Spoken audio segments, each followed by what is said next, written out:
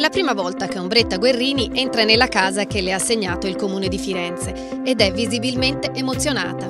È una grande gioia, una delle cose più belle che mi capita da fare come sindaco perché riguarda proprio il cuore delle persone eh, e un tema sentitissimo che è quello dell'emergenza abitativa.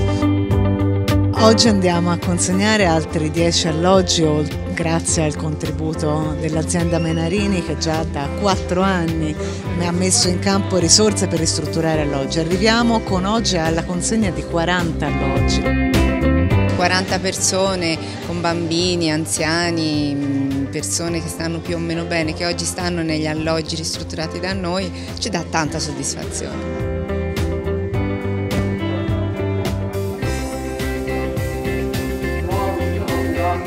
Vivrà in questa casa? Con mio figlio, mia figlia e mia nipotina. Se Firenze sta meglio di tante altre città, comunque eh, non può trascurare problemi che tuttavia esistono eh, perché abbiamo tante famiglie in lista d'attesa per avere un alloggio. Per questo ci siamo dati un, un obiettivo ambizioso, quello di arrivare entro il 2019 con mille nuovi alloggi consegnati e quindi l'apporto di Menarini è fondamentale credo sia un contributo che resta nel tempo e che è sensibile per chi lo, ne beneficia.